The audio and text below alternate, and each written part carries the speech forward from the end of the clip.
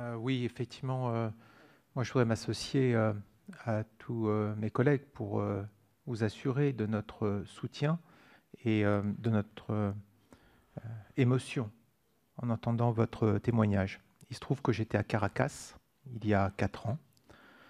J'ai ressenti ce que pouvaient vivre les gens sur place. La pression. À l'époque, on parlait beaucoup de Leopoldo Lopez, qui était justement emprisonné, qui était la, figure emblématique, qui représentait. Évidemment, j'ig- j'ignorais combien étaient euh, emprisonnés comme vous à ce moment-là. Je suis allé récemment à nouveau au Panama, en Colombie, au Pérou, avec euh, rencontrer tous nos collègues, prendre la mesure de ces millions. On parle de plusieurs millions de vos compatriotes réfugiés dans la misère. C'est votre pays, et vous l'avez euh, bien décrit, est devenu le repère de tous les trafics. Le narcotrafic, vous l'avez dit, la contrebande, mais il y a des prisonniers qui travaillent, qui sont exploités dans des mines, qui travaillent, qu'on fait travailler comme des, euh, comme des esclaves. Il y a un repère de terroristes maintenant aussi, Hezbollah, qui s'est installé dans votre pays.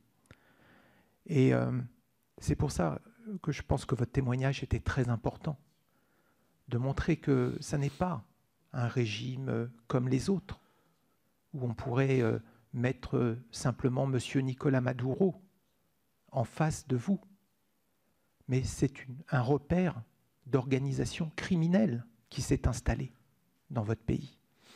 Et il est beaucoup, il, serait euh, caricatural de dire mais il suffit de régler ça par un vote. Mais bien sûr que non, ils ne connaissent pas le résultat du vote, et vous l'avez dit.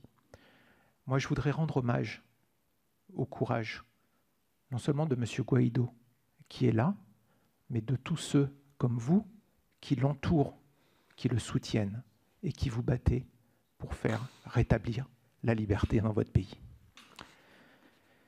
Alors, que faire? Aujourd'hui.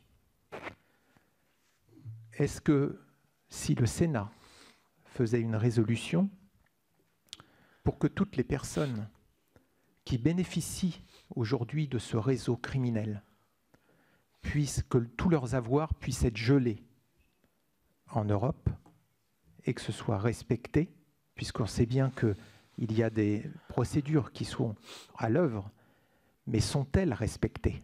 C'est ça la question aujourd'hui.